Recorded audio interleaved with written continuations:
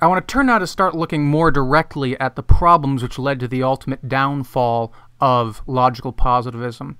Um, I'm not going to complete them here. I'll continue to talk about those problems when I get to the next video where I talk about the problem of induction and the problem of confirmation. But I at least want to start looking at the down, what was the real downfall um, of, of logical positivism. And uh, just let's start with problems with the verifiability theory of meaning. Now, according to the verifiability of theory of meaning, much language is actually meaningless. So things like poetry and ethics and theology don't really seem to be verifiable in the way that the logical positivists insisted. Now, the positivists themselves had no problem with this. They they accepted it. They bit this bullet, and they, they even embraced it. Actually, they thought it was actually sort of a good thing. They thought, yes, a lot of this sort of talk about about ethics and right and wrong and the categorical imperative and so forth, and and, and theology and God, and even poetry. This stuff is basically just gibberish. Um, you know, if, if, it has any value, it's only you know uh, uh, in, in, some sort of abstract way. It's certainly not scientifically legitimate, uh, and it certainly doesn't rise to the level of what we want to call knowledge. Uh, no matter how sort of insightful the poetry we might be, no matter how committed we feel to these ethical principles, or no matter how profound the, the theological ideas might be, they're ultimately unverifiable, hence ultimately meaningless, and we should uh, discard this sort of talk. Well, that might not be a big problem then, but notice this. We can actually jerry rig meaningless statements in order to make them testable. So consider the following statement Water is blue and absolute spirit is perfect. That seems like the kind of statement that we want to say is ultimately meaningless because of that whole stuff about the, you know, absolute spirit being perfect. That that's something we want to say. It's unverifiable and it's garbage, so we should throw it out.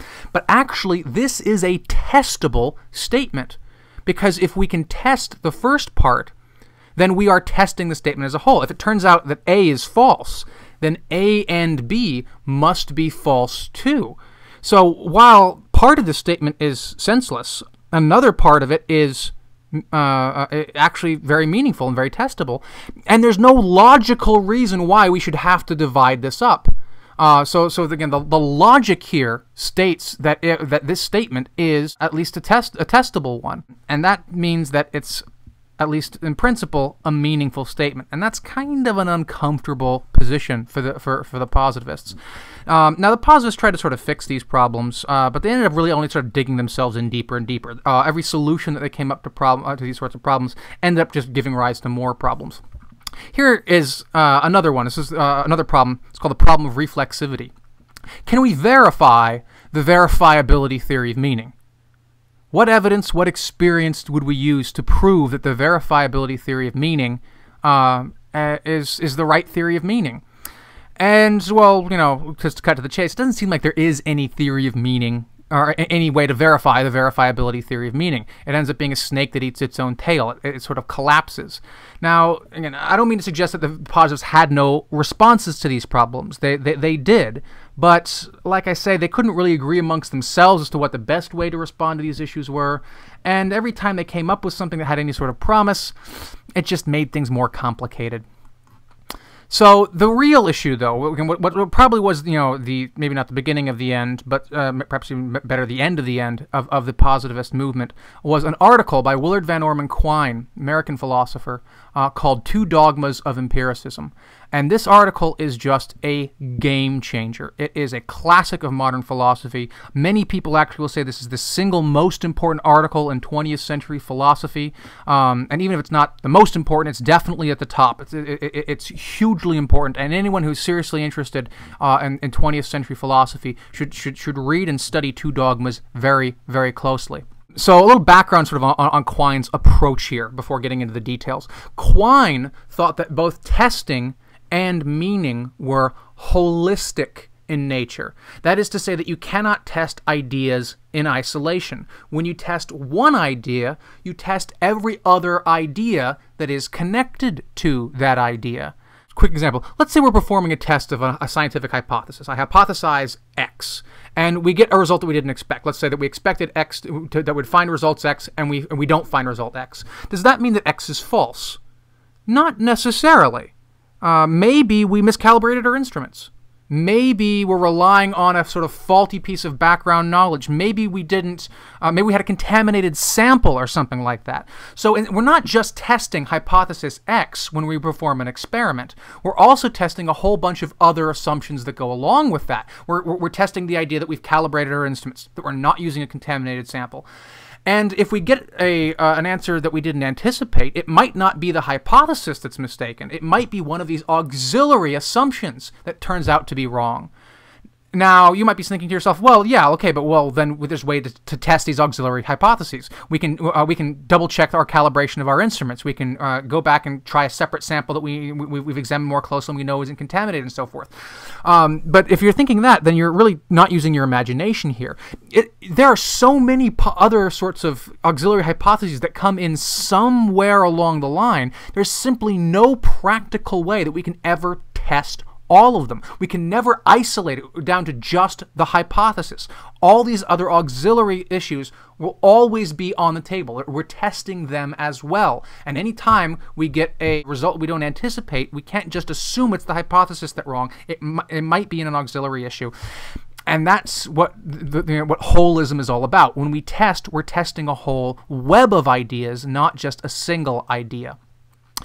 So let's turn now then to the first dogma of empiricism. And this is what we talked about before the analytic synthetic distinction. Quine claimed that there is no scientific way to make sense of the analytic synthetic distinction. And this basically follows directly from his idea of holism about testing. If, in fact, when we perform a test, we're not just testing a hypothesis, but we're testing every idea that connects to that hypothesis, then when we're, we're performing a test, we're also testing our analytic beliefs as well. We're testing ideas that, according to the positivists, were supposed to be immune from experience, immune from empirical testing.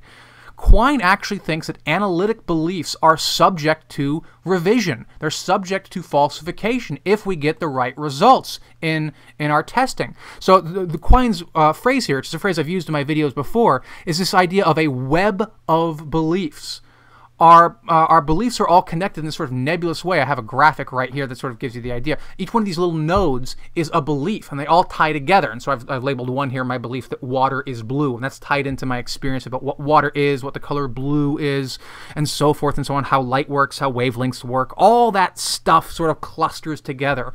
And when I'm testing a, a hypothesis like water is blue, I'm not just testing that. I'm testing every other node that this idea is connected to. And if I get you know something uh, uh, other than blue, I might revise one of my other hypotheses. I might revise the idea that what I'm looking at is water. I might revise the idea that uh, my eyes are working properly. So any one of these other parts of the web of belief might end up being revised. And indeed, even analytic statements might end up being revised. It'd be pretty radical, of course, for this to happen, but it's not unprecedented. Uh, in 20th century science, for example, we've got good reasons to think that, uh, again, Euclidean geometry, which was uh, so obvious to Rene Descartes that it was rationally undeniable. Uh, if, if, if, you forget your sort of you know, your middle school geometry here, Euclidean geometry, uh, it's the geometry of Euclid. It was outlined in ancient Greece. It involved it's based on five Euclidean postulates that say things like parallel lines never meet.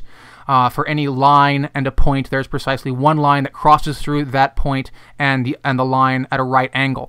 These things look intuitively obvious, but it turns out that the universe that we actually live in is non Euclidean in nature. It's not actually true of the universe that parallel lines never meet. That, that might seem strange to some of you, but I promise you it's true. There are, in the universe, parallel lines actually can cross if they, for example, go uh, past a, a, supermassive black hole. The space will warp around them, and, the, and, and, and these two lines can actually cross. But, and here's the mind blowing part, those ideas, I mean, those lines are still parallel. So Euclidean geometry, which was again, which was thought to be analytically true, true by definition, has been revised in the 20th century.